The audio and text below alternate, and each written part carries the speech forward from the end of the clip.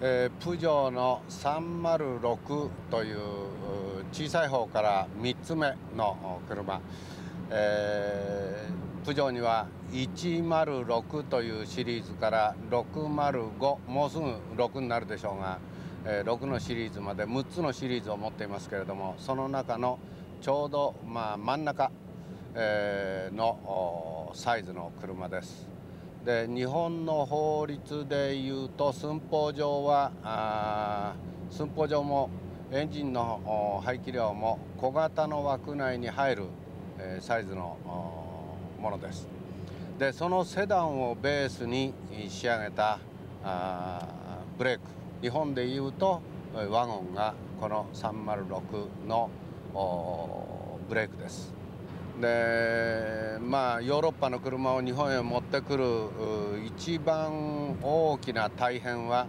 えー、実はこの出力やトルクを日本風に仕上げてやらないと日本では商品価値がないというのが泣きどころなんですが、えー、プジョーはよく努力しまして、えー、306に、えー、40シリーズのエンジンを移植したと。いうところがこの車のフランス風の努力です。でこの306に乗ってみて一番感心するのは滑らかでスムーズな走りです、えー、気持ちのいい硬すぎず柔らかすぎないという乗り味、えー、フランス車というよりはどちらかというとドイツ車に似た乗り味ですがドイツ車のように、えー乗せてやろうというような印象ではなくて、えドライバー本位で、え気持ちよく走るサスペンションの作りそれから、えサスペンションの合成なんて言いますけれどもこう怖さといいますかそんなものがうまくマッチングされています。で、え、このトランスミッションは ZF というドイツの会社の持っているえー、特許で仕上げられたものですが、えー、このオートマチックのトランスミッションも随分この頃は進化しまして、えー、初めのうちは段付きがして、え変速ショックが大きかったんですがこの頃のものはあそんなことが随分少なくなりました。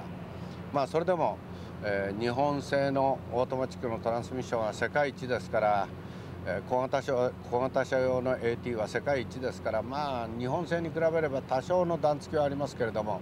しかし実用上で不愉快だというようなところはありません。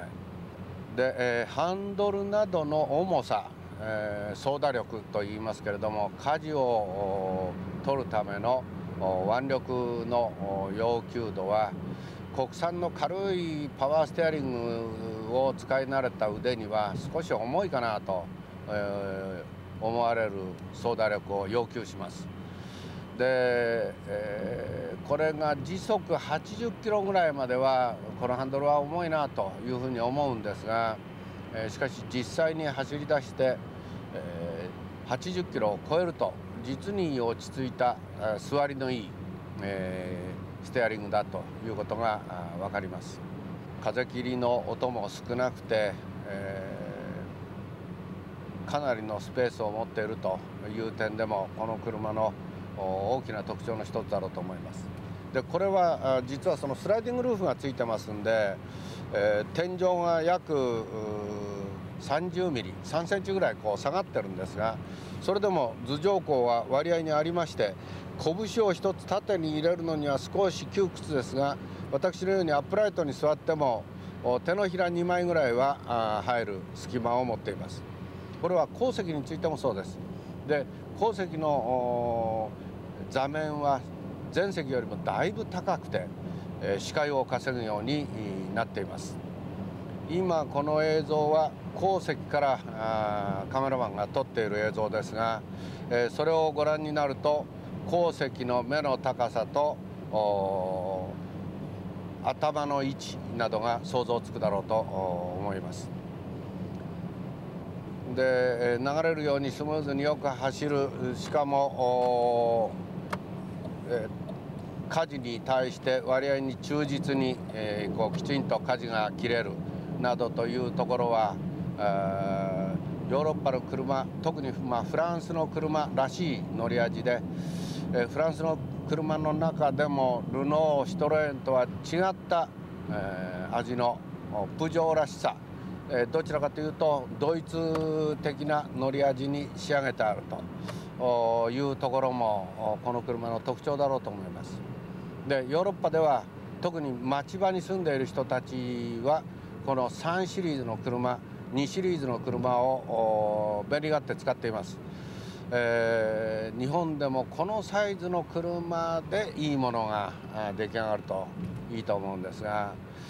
この走り心地それから座り心地など全般的に見て、えー、このシートの出来の良さなども含めて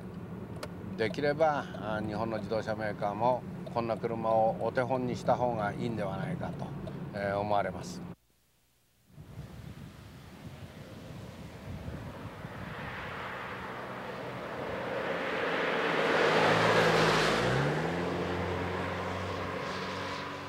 えー、プジョーの306のブレークです、えー、いつもの山坂道を持ってきました、えー、この車のエンジンは130馬力とちょっと。今それに、えー、4人のスタッフが乗っています。私を含めて4人 ,4 人で乗っています。で前輪駆動の車なので上り坂はあまり得意じゃないはずなんですがこのサスペンションはよほどそんなことを研究し尽くしてえー、作ったもんだろうと思いますね。え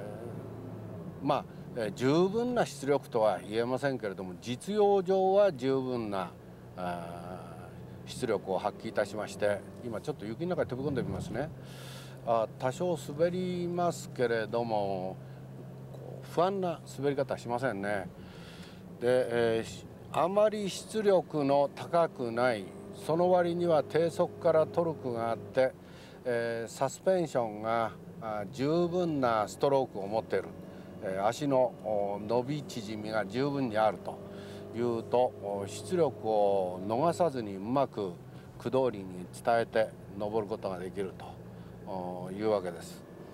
どう見てもこのトランスミッションは、えー、4速に入ることはほとんどありませんで3速で頑張っています。えー、日本のトランスミッションのような知能化しているかどうか分かりませんけれどもしかしかなりの制御力は持ってまして、えー、これでも、まあ、日本の三菱の、えー、あの大変知能化されたトランスミッションとは違った味わいではありますけれども不安なく使うことができます。で、えー、広いこのサイドスクリーンといいますが横側の窓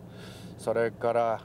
あまり傾斜をしていない、えー、フロントのスクリーン、えー、何をとってみても別段そんなに新しいアイデアはないんですけれどもしかし、えー、うまい具合の設定だと思いますね。今人間だけ乗って試乗してまいりました。えー、耐えかなくというか気持ちよく走ってまいりました。しかしこの手の車は、えー、荷物をたくさん積むことがあります、えー、荷重変動が多いなんて言うんですが、えー、その荷重変動をさせてみました。ダミーウェイトを200キロ目いっぱい積んでみました。1個10キロのダミーウェイトを20個ですから200キロ。これに乗って走ってみるとさあどんなことになるでしょう。前輪駆動上り坂に弱い、えー、そこへ持ってきて後ろへ200キロの重り。これでどう走るか試してみようと思います。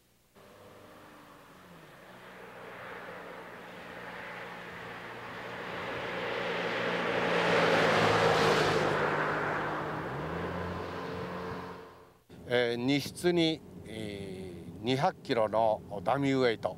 それから後席に、えー、70キロ級が1人。60キロ級が1人全席に80キロ級が2人、えー、これだけ乗って山坂道でどうかと言いますとおハンドルがいくらか軽い感じだなぐらいで行きますね、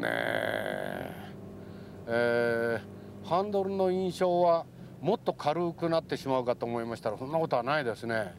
それで、えー、前輪駆動で上り坂っていうのは一番苦手なんです。ちょっと雪の中に足突っ込んでみましょうね。何事もないように行きますね。で悔しいけれどもこの辺りのサスペンションの設定の仕方というのが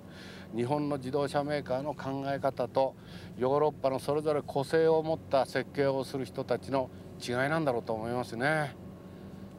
いや驚くべきですね。